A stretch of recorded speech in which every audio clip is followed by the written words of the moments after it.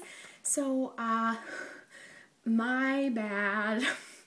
I haven't posted in a really long time. Well, it's only been like a week, but it feels like forever for me. How do you feel? I don't know. I'm going going through a bit of withdrawal. Um, so busy with school, you guys. Like I just had midterms, and I feel like I've never felt before. And also, it was Canadian Thanksgiving, so I was celebrating with my family, and I didn't even mean to like not upload. It just didn't happen. I literally didn't even have time to film. I didn't have time to edit.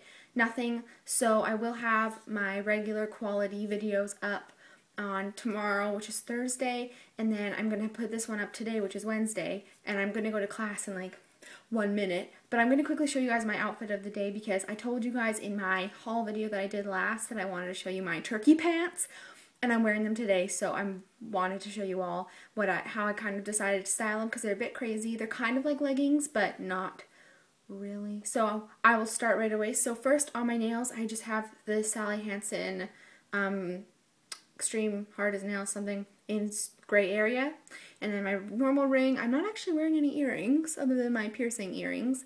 Um, I'm not actually wearing makeup either. I'm just wearing a bit of concealer underneath my eyes and on any blemishes. Sorry, my friend just texted me. Um, my necklaces are the same as usual. This one here is Tiffany's, and this one is just from like a local store. I'm bring it down here so you can see my outfit. My top is from Madewell. It's just like a white cottony top, and don't judge me, but I often wear tops with holes in them that my cat has maybe by accidentally done.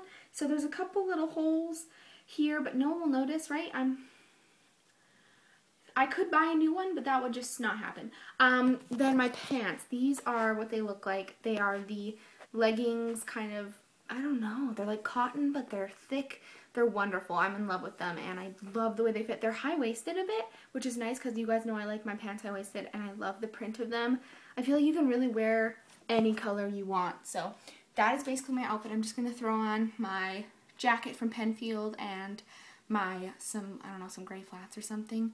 And that is basically it. I hope you guys enjoyed this and I'm sorry for the lack of videos. I will be back soon. Oh oh oh my gosh I got 4,000 subscribers you guys. That is crazy. Thank you so much. Um yay.